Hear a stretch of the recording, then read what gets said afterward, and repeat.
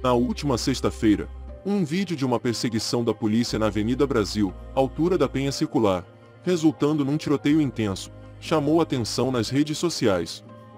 Uma viatura do 22º BPM, Maré, viu um veículo com os ocupantes em situação suspeita e tentaram abordar, mas o carro abriu fuga e aplicou tiros contra a viatura.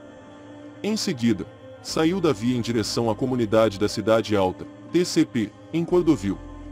Segundo informações, o carro seria de traficantes ligados ao TCP, e estaria um dos chefões do complexo de Israel, o Peixão, que lidera as comunidades da Parada de Lucas, Cidade Alta, Cinco Bocas e Pica-Pau.